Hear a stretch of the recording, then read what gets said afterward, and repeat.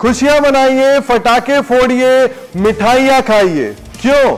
क्योंकि team India T twenty world cup 2024 जीतने से सिर्फ़ एक कदम दूर है।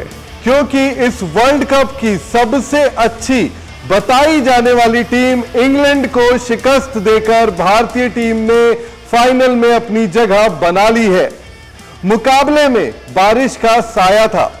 वैसे बारिश तो इंडियन टीम को पसंद थी, क्योंकि अगर पूरे मुकाबले में बारिश होती तो इंडिया सीधे फाइनल के लिए क्वालिफाई कर जाती। लेकिन फिर एक तमगा लग जाता कि सेमीफाइनल बिना खेले टीम इंडिया फाइनल में पहुँच गई। लेकिन अब कुछ और हुआ। अब न सिर्फ़ इंडियन टीम ने सेमीफाइनल मुकाबला खेला, बल्कि उसे शान से जीता। हिंदुस्तान के 11 योद्धाओं ने गयाना में इंग्लैंड की टीम को चारों खाने चित कर दिया।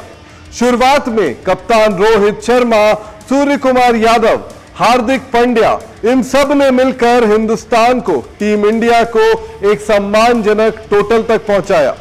विराट कोहली जल्दी पवेलियन लौटे। ऋषभ पंत भी वो कमाल नहीं कर पाए। शिवम दुबे भी पहली ही गेंद पर आउट होकर वापस चल दिए। लेकिन इसके बावजूद इंडियन टीम एक विशाल स्कोर तक पहुँची। 20 ओवर में इंडियन टीम ने सात विकेट के नुकसान पर 171 रन बनाए। इंग्लैंड को टारगेट दिया 172 रनों का। 2022 टी वर्ल्ड कप के सेमीफाइनल में भी कुछ ऐसा ही हुआ था, लेकिन वहाँ पर कोई भी भारतीय गेंदबाज विकेट लेने में सफल नहीं हो पाया था। लेकिन आज साल दूसरी थी, जगह दूसरी थी और रात दूसरी थी। यही वजह है कि टीम इंडिया के स्पिनर अक्षर पटेल ने भारतीय टीम को पहली सफलता दिलाई। और अक्षर ने जो शुरुआत की, उसे अंजाम तक भारतीय टीम के बाकी गेंदबाजों ने पहुँचाया। अक्षर पटेल को साथ मिला कुलदीप यादव का। कुलदीप यादव और अक्षर पटेल ने शानदार गेंदबाजी की, जिसकी बदौलत हिंदुस्तान वर्ल्ड कप 2024 के फाइनल्स तक पहुँच चुका है। अब बस इंडियन टीम को एक फाइनल मुकाबले में अफ्रीका को मात देनी है और बारबाडोस में भारतीय टीम इतिहास बनाने में सफल हो जाएगी। खैर सेमीफाइनल मुकाबले में किस बल्लेबाज ने कितने रन बनाए, सबसे पहले आपको वो दिखाते हैं। टीम इंडिया के लिए सबसे ज़्यादा रन कप्तान रोहित शर्मा ने बनाए।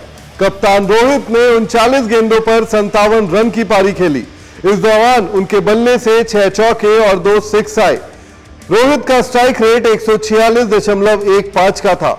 इसके अलावा सूर्य कुमार यादव ने 36 गेंदों पर सैतालीस रन की पारी खेली।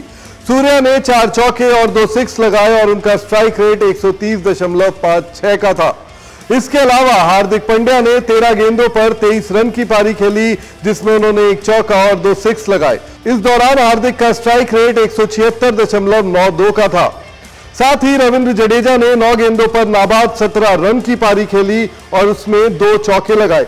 रविंद्र जडेजा का स्ट्राइक रेट एक का था। तो वही अक्षर पटेल ने छह गेंदों पर 10 रन बनाए और उनका स्ट्राइक रेट एक का रहा। बल्लेबाजों के बाद गेंदबाजों की बारी आई और गेंदबाजों ने भी खूब तूफ़ान मचाया। शुरुआती ओवर्स में ऐसा लगा कि कहीं 2022 की वो रात रिपीट ना हो, कहीं हिंदुस्तान 10 विकेट से मुकाबला हार ना जाए। लेकिन जैसा मैंने आपको बताया कि गेंदबाजों ने आज कुछ और ही ठान कर रखा था।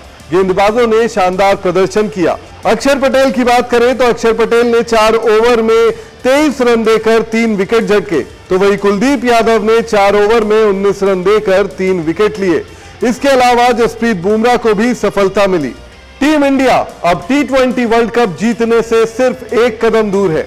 उम्मीद है कि जैसा बीसीसीआई के सेक्रेटरी जय शाह ने राजकोट में कहा था कि रोहित शर्मा की कप्तानी में बारबेडॉस में तिरंगा शान से ज़रूर लहराएगा।